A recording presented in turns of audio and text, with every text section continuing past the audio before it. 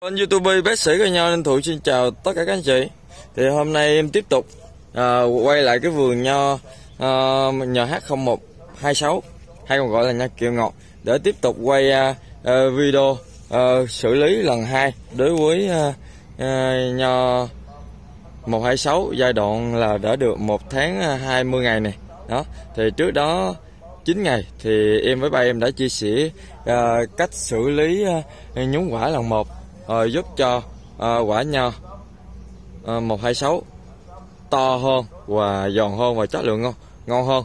Thì tiếp tục đến uh, hôm nay là ngày 26 tháng 5 thì tiếp tục là farm em em với ba em sẽ tiếp tục chia sẻ cho các anh chị về cái bí quyết uh, giúp cho uh, quả nho 126 to hơn bình thường rất là nhiều và rất an toàn cho sức khỏe nha các anh chị thì nào mời các anh chị hãy gặp ba của em để ba của em chia sẻ thêm về cái bí quyết mà làm à, nho uh, quả 126 lớn quả nhé. Đây, mời các anh chị cùng đi với em. Dạ con chào ba. Chào con. Dạ. Thì uh, ngay từ đầu thì con cũng đã bọ mí với các anh chị rằng hôm nay thì hai ba con mình lại tiếp tục uh, quay cái quy trình à, xử lý nhúng quả lần hai đối với nho 126 giúp cho nho quả 126 lớn hơn à, gấp đôi hoặc gấp rưỡi so với à, kích thước quả trung bình của quả nho 126 thì ba có thể chia sẻ à, cho các anh chị biết thêm à, được không ba? Thì, uh, xin chào uh, anh chị và các bạn. Dạ. Đó, hôm nay là tôi sẽ nhúng quả uh, lần hai cho dạ. nho 26 dạ đó thêm nữa là nói chung là kẹo ngọt. Dạ. Đó bây giờ là các bạn là cùng tôi pha thuốc. Dạ. Đúng lần hai. Dạ.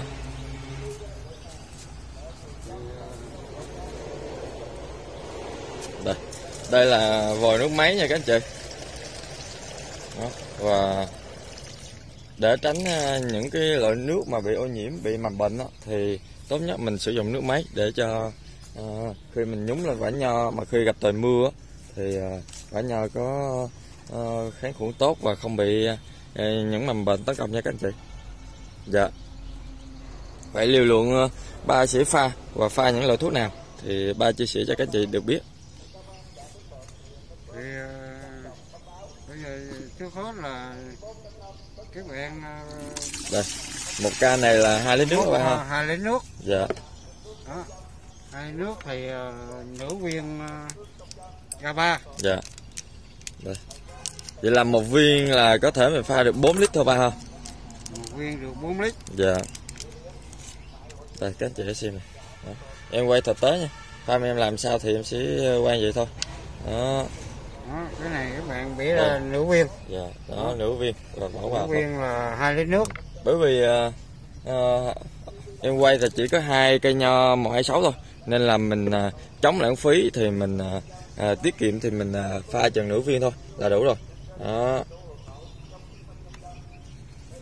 vậy uh, kết hợp giữa G3 thì mình sẽ tiếp tục sử dụng uh, hậu chất gì nữa các bạn thì uh, các bạn bỏ vô chờ cái viên G3 là nó tan đi dạ. sủi tan đi dạ. rồi kết hợp với với là chất đậu quả. Dạ đây. Đó đây là gói chất đậu quả. Dạ đây. Đó, đó đây các anh chị này. Mình vẫn sử dụng mà hai hội chất là G3 và đậu quả. Nhưng mà nó chỉ khác nhau ở cái, cái nồng độ cái liều lượng nhúng cái lần một với lần hai thôi ba ha. Đúng rồi. Ừ.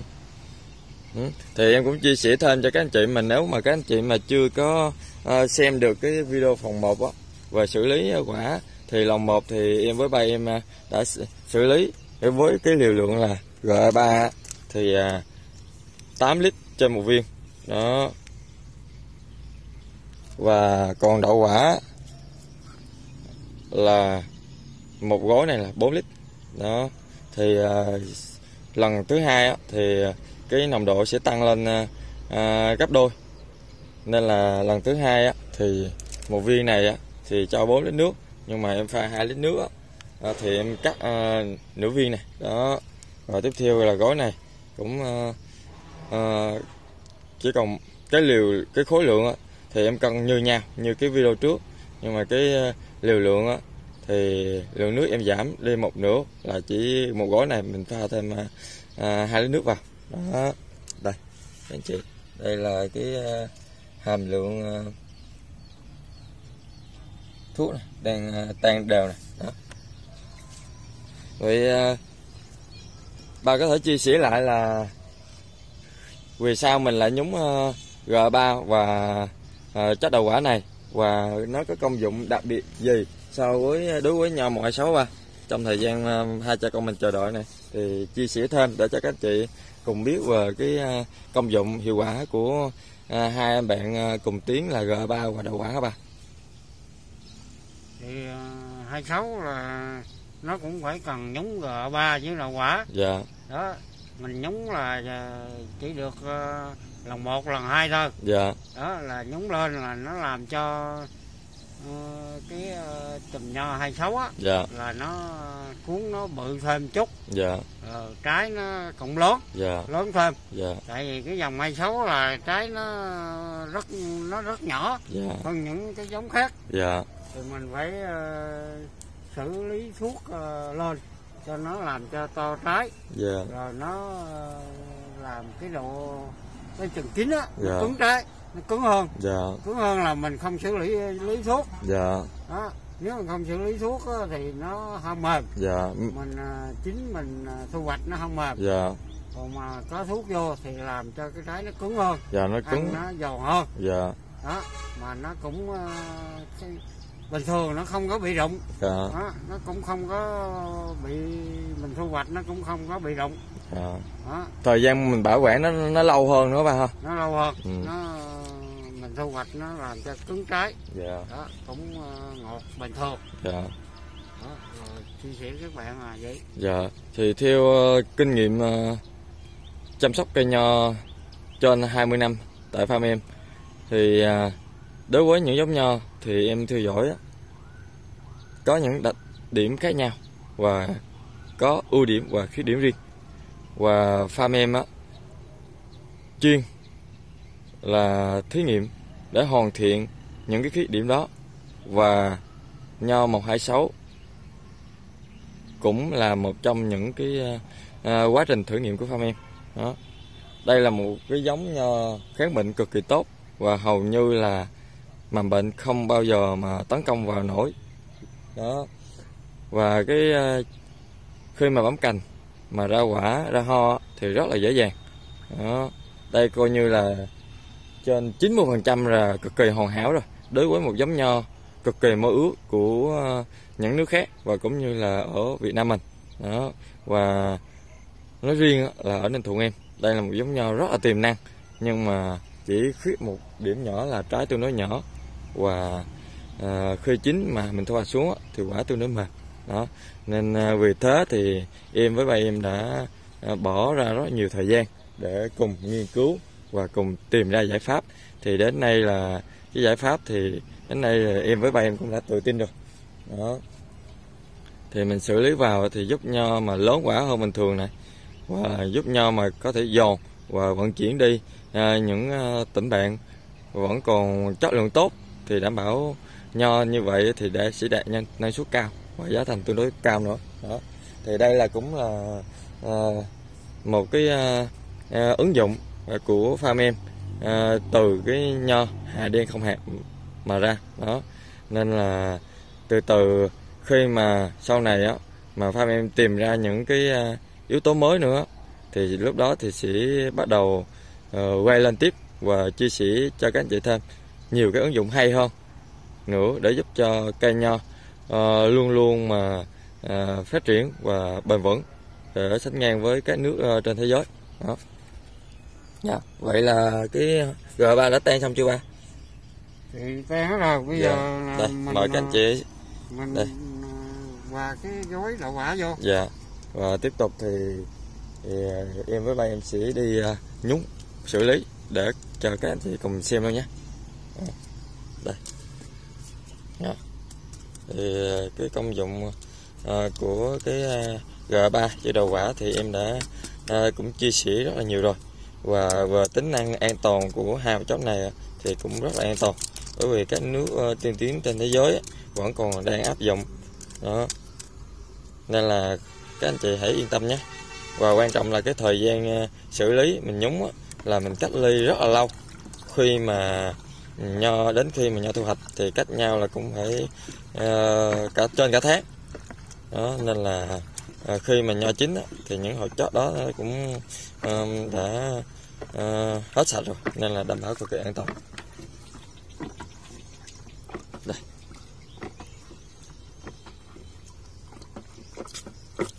Đó mình hờ tan đều lên hết. Ừ. và đà lần đây là lần thứ hai thôi đối với nho những giống nho như nho một xấu nho đỏ nho xanh nho một năm hai thì em không có xử lý uh, giãn chùm nè cũng như là không xử lý đậu quả. Đó. em bỏ hai bước đó em chỉ ờ, xử lý uh, giai đoạn mà sau khi mà nho uh, quả đã hình thành và tỉa quả nước một thì giai đoạn tầm khoảng tháng 10 ngày đến một tháng rưỡi thì farm em sẽ bắt đầu xử lý giúp cho quả nó lớn hơn bình thường. Đó qua thuốc xong rồi dạ. Bây giờ các bạn à, là theo tôi là nhúng. Dạ. Nhúng à, hai dạ. Đây đúng đúng một can này là hai lít nước này. Đó.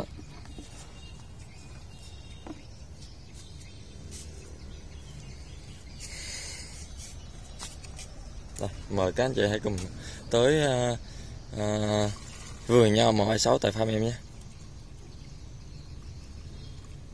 Đây. vườn nho ngay khúc này chỉ hai cây thôi.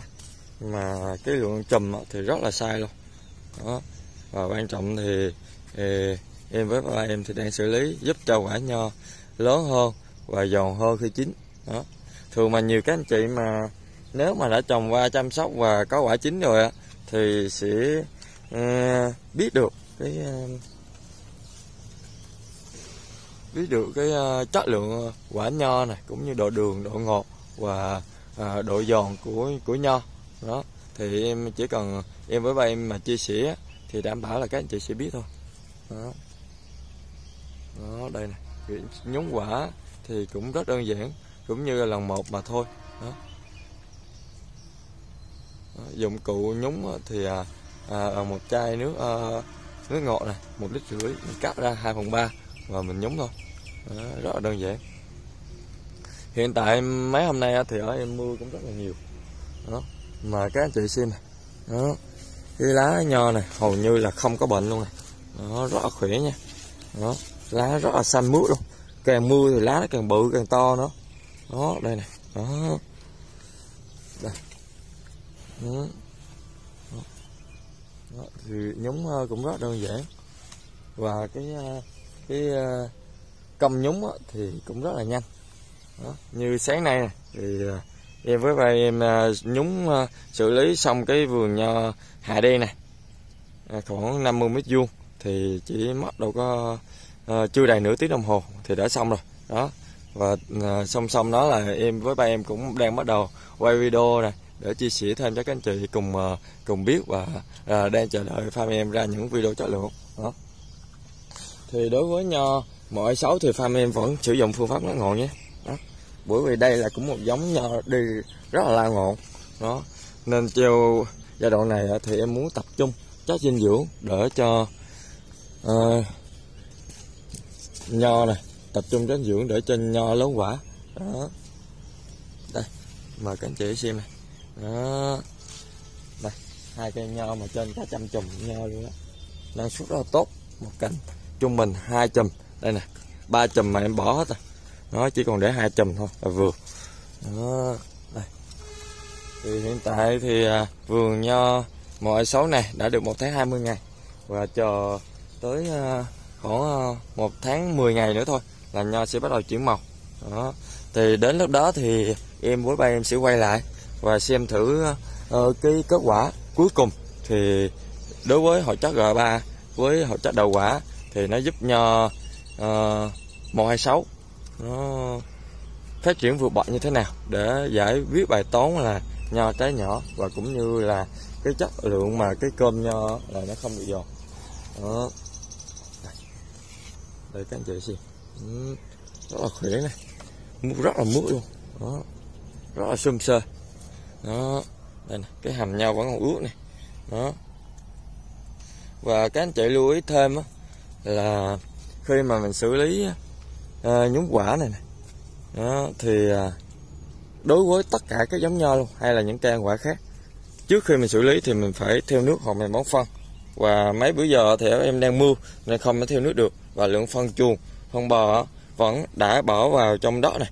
Nên là vẫn trong ờ, đất này vẫn có đủ chất dinh dưỡng để giúp cho à, vườn nho có thể sau khi mà nhúng hai hào chót này á, thì có thể tăng quả lên một à, một cách hiệu quả nhất.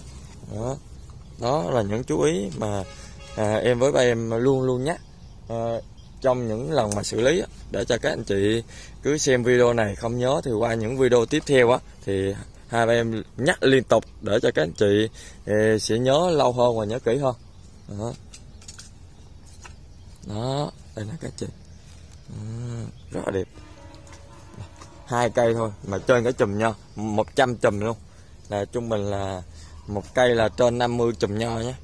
Đây rất là sai đó, đây nè một gốc hai gốc. Còn quay đây là không có gì hết này đó các anh chị xem nha. Nó rất là xum sơ. Ừ. dù đây thời tiết em cũng đang mù. Và hiện tại thì à, cả nước mình luôn. Là em xin thời tiết là đang à, mù và đang mưa khắp cả nước. Đó. Ở farm em thì à, có kinh nghiệm thực chiến rất là lâu rồi. Nên việc mưa gió mà một hai ngày hay là mưa cả tuần á thì mình đã có cái phương án để khắc phục hiệu quả rồi. Thì đảm bảo là sẽ không có sợ gì hết nên là cũng ít lo lắng lắm. Đó nên là quan trọng là mình nắm được quy trình rồi và mình có cái uh, công thức chuẩn rồi thì đảm bảo là cũng ít sợ thôi. Đó giai đoạn quả như thế này thì mưa xuống thì cũng lớn quả hơn thôi. Đó thì nên là cũng không sao bệnh thì mình cứ phòng thôi. Nắm tán thư là chính. Hay là nắm xám nắm cuốn giai đoạn này nè. Đó. Đây các anh chị xem. Rất là đẹp nha. Chùm rất là chữ quả luôn. Đó. Nên các anh chị mà có nhu cầu mà trồng chơi hay là trồng ăn quả cho gia đình đó và à, mình nên chọn giống 126 là một cái giống nho là cực kỳ đẳng cấp và cực kỳ chất lượng. Đó. quả ăn rất là ngon và nho thì nhanh kháng bệnh. Kháng bệnh rất là tốt này. Đó, khi bấm cành thì cành có nào, cành xanh, cành già, cành hó gỗ như thế nào, vẫn ra bông, như ý muốn. Mà trung bình một cành hai chùm bình thường. Đó, các anh chị xem. Ừ.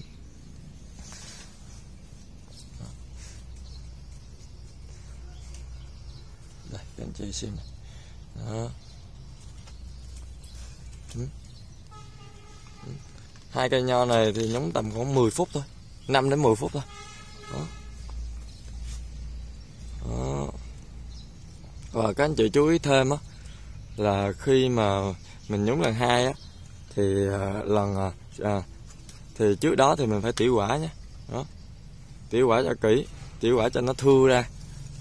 Để cho khi mình xử lý vào quả lớn á, thì nó không bị chen chít nhau.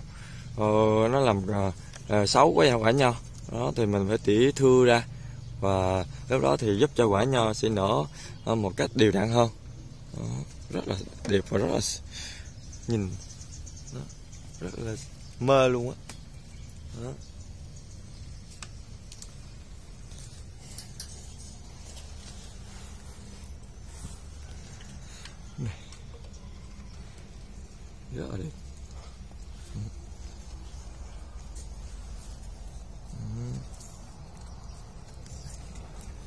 Mướt luôn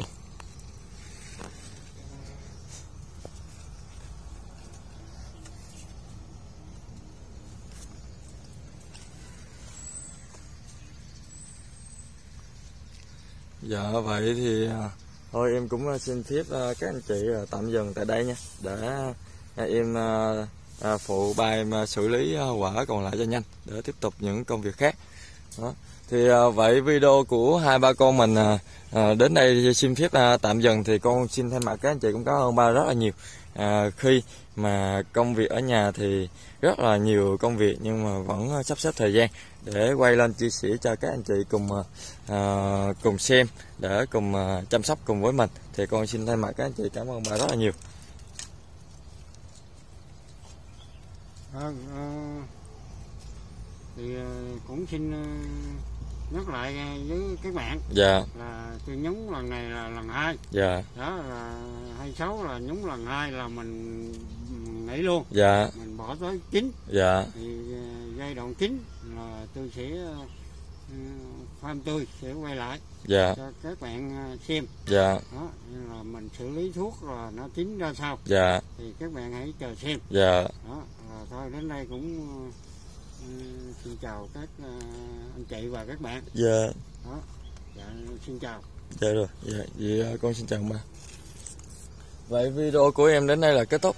Xin chào và hẹn gặp lại các anh chị ở những video tiếp theo nha